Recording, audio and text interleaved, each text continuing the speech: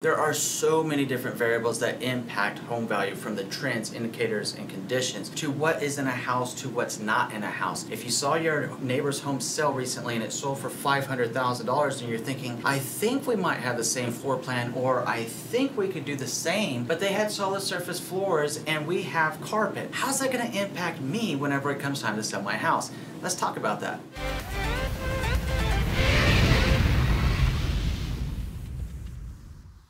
My name is Andrew Finney and my passion is helping you make sense of real estate. If you need help finding a top agent near you or if you simply want to drop me a line to say hello, my contact info is below. If you're new here, please go ahead and subscribe to this channel now and like this video. Thank you. Alright my friend, let's take a closer look at this. Whenever I chat with people about their home values, sometimes they're like, hey, you know Andrew, my neighbor sold their home for $500,000. I think their home was something like 3,000 square feet. Well, mine is 2,900 square feet. They had real wood floors and I have carpet. You know, should I be able to get $500,000 for my house too?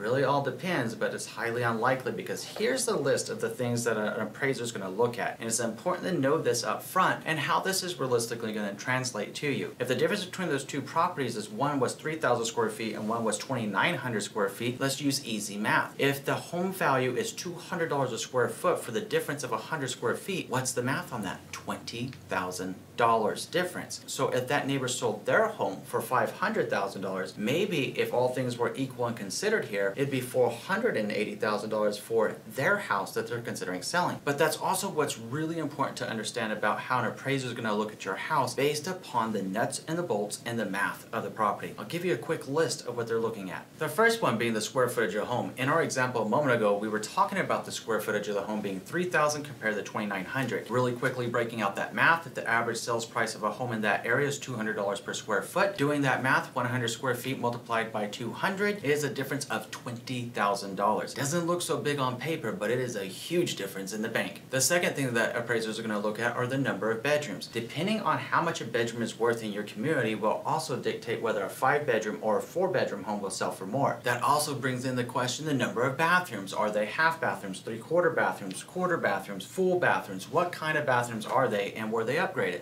The fourth consideration they often go off is the general condition of the property. That's why good home maintenance is so critically important. Not only to help you get the best price for your home, but to also help the appraiser say, hey, you know what? This is a well-maintained home. It looks like they've been keeping up on this property. I noticed that water heater over there looks to be about three years old. The HVAC system over here looks to be about seven years old. Everything is looking good. No moisture stains going on. Everything is in serviceable condition. These are good things that keep your home looking great and helping you get the best price for it. And the fifth one we all know, which is location, location, location. Where is it? Does it have a water view? Is it on the beach? Where is this property located in relation to its comparables? And are there any added benefits that are going to increase the value of this property based upon its location? Appraisers are going to be looking at that. The sixth thing that they look at is the age of the home. Now, generally when you look at it, it's just like when we think about us as people. We get classified into these groupings of generations, right? We have millennials, Gen Z, Gen X, Gen Y, baby boomers, all this fun stuff, right? Well, so is true of homes. Generally, the appraiser is going to be assigning a generational range to a home by a, standard variance of plus or minus 10 years. So let's give you a for instance. If the house was built in 2010, appraisers will be looking at homes that were built from 2000 all the way to 2020. That's considered a generational age range that an appraiser will be assessing. The seventh are the upgrades that you've done to the property. Have you done anything different to it since the time that you've owned the property? And that's the trick. And this is where I always suggest to people to not only keep a homeowner journal,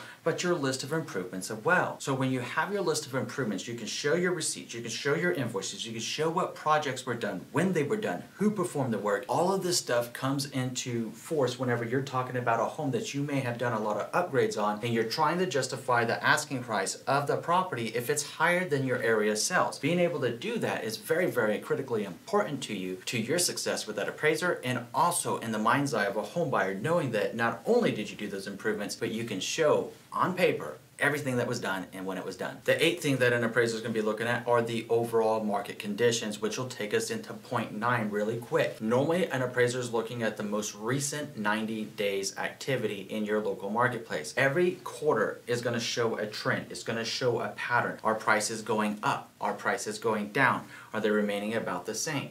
So it's an important consideration that an appraiser is going to be looking at the condition of the market, but also examining and putting the most weight into the most recent comparables, often the most recent 90 days. As a pro tip to better understand what your local marketplace is doing, keep an eye on the amount of homes on the market. Keep an eye on their list price to what they ultimately sell for. It's oftentimes very different. List price, the sales price ratios will let you know if you're planning on selling your home about what kind of negotiations are taking place and what homes are being appraised for. Just for reference as a list price to sales price ratio, if you had a home that was listed at $500,000 and let's say it sold for $490,000, that would be a list price value of 100% at the the $500,000 marker to a sales price value at the 490 marker of 98%. The difference of which is 2%, $10,000 in this case, right? If you can analyze that and you can keep that in mind whenever you get ready to list your home and you can assess whether it's going up or whether it's going down, then you'll know the right listing strategy for you by gleaning understanding from your trusted real estate advisor and reviewing a strong listing strategy for you.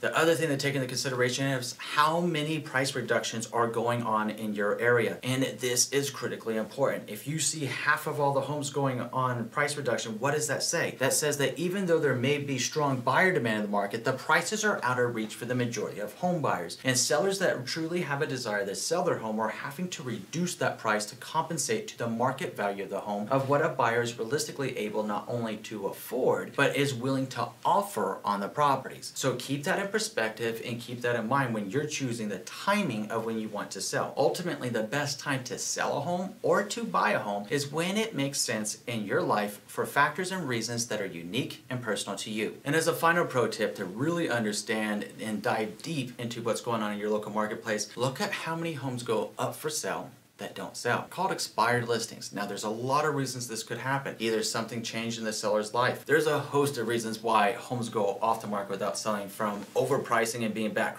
crazy with your pricing to being an extremely difficult negotiation to maybe they were trying to sell it and it had a tenant in the property. Maybe the inspection just wasn't checking out. The appraisal came back in too low and the seller decided to take it off the market or let it expire. There's so many different reasons that go into it. Talk it over with your trusted real estate advisor in your local marketplace to make make sure that you have an understanding of the overall situation when you're forming a strong listing strategy for you. All right, my friend, now let's talk about how to price your home to sell by understanding valuations versus comparables and eight steps to sell your house. Looking forward to our next conversation. We'll see you in a few.